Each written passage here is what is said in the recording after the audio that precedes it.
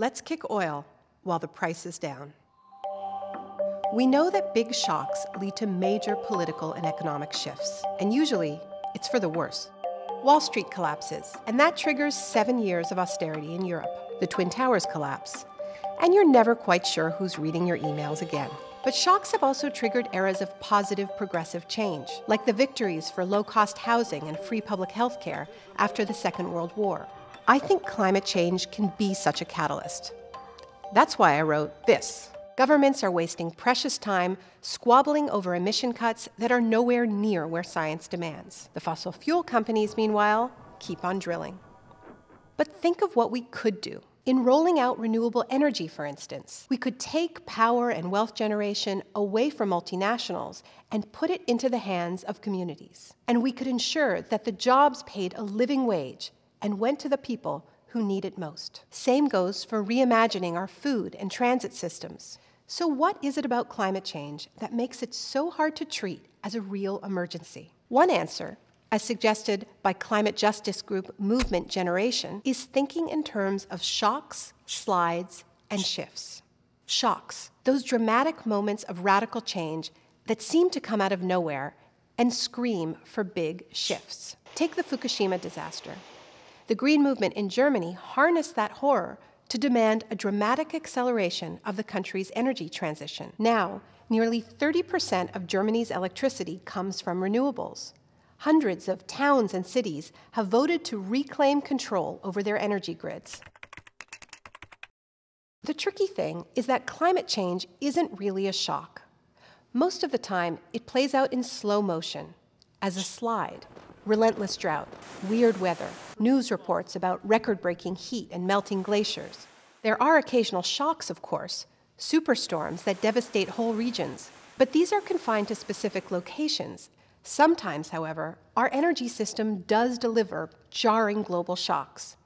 And pay attention, because we happen to be in the middle of one right now. Not that long ago, oil was at $100 a barrel. Now it's hovering at around 50. Make no mistake, when it comes to the most critical commodity in our economy, $100 to $50 in six months, that's a big shock. Could this be the shock that we harness for our big shift? I think it can be. Low oil prices, for instance, means that we can introduce a fair and meaningful carbon tax, something that's much harder to do when petrol is expensive. And if we don't do it, well, low oil prices will just encourage more dirty consumption. The money raised from that tax could go towards green infrastructure, which in turn would create a whole lot of jobs, the 1 million climate jobs that some labor groups have been calling for. And that kind of job creation makes a hell of a lot more sense than what the fossil fuel companies are currently demanding a new wave of tax cuts and other bailouts, apparently so that they won't lay off more workers. That's insane. If public money is going to be spent on energy jobs, it has to be for the jobs that will save us, not cook us. In truth, we have to wind down the parts of our economy that are fueling climate change. And the price shock helps with that too. From the Alberta tar sands to the North Sea, fossil fuel companies are already canceling or scaling back high cost projects. The profits suddenly aren't there, which means that now is the perfect time to unite behind bold demands to keep it in the ground. No drilling in the Arctic, a freeze on expansion in the tar sands, and more fracking bans like the ones in New York State and Scotland. There's also never been a better time for institutions to divest from fossil fuels, since many of these stocks have been underperforming anyway. Look, I wrote a book arguing that capitalism is at war with the climate, and I still believe that. But sometimes capitalism gives us a gift, and the sudden drop in oil prices is one of them, but it's fleeting. What goes down will go back up. So let's not blow what may be our last best chance to prevent catastrophic warming. Let's turn this shock into the shift we need.